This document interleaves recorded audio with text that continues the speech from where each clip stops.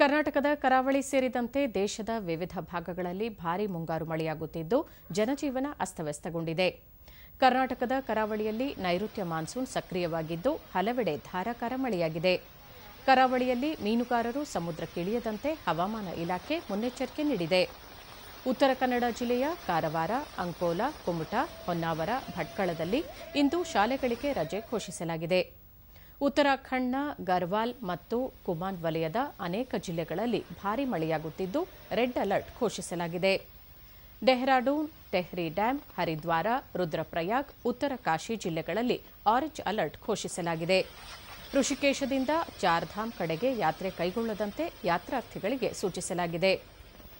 ಮಧ್ಯ ಭಾರತ, ವಾಯುವ್ಯ ಭಾರತ ಪ್ರದೇಶಗಳಲ್ಲಿ ಮುಂದಿನ ಐದು ದಿನಗಳಲ್ಲಿ ಗುಡುಗು ಸಿಡಿಲಿನಿಂದ ಕೂಡಿದ ವ್ಯಾಪಕ ಮಳೆಯಾಗಲಿದೆ ಎಂದು ಮುನ್ಸೂಚನೆ ನೀಡಲಾಗಿದೆ.